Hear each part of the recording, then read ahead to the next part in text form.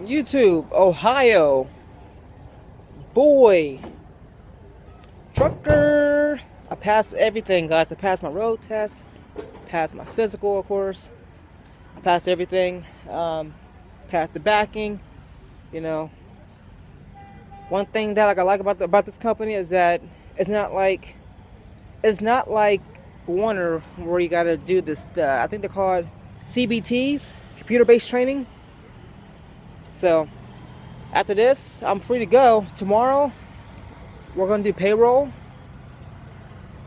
So yeah, guys, uh, this is how the uh, terminal in Columbus, Ohio look. Look, oh, I mean, all this water in Columbus looks like, guys.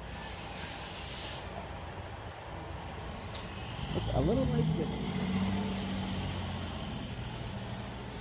And this guy right here is doing his backing. Let's check him out real quick.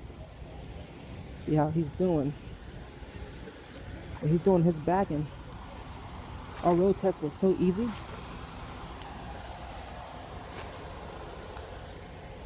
Yep. JB bound.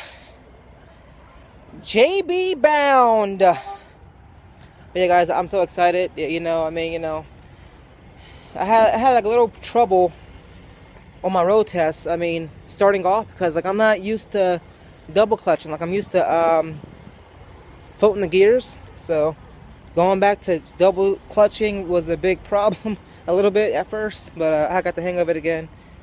But uh, yeah, guys, so I, I got that done. Um, once again, guys, please subscribe, like the videos, thumb it up. If you thumb it up, I'm gonna thumb you back. But uh, this is where the orientation class is at.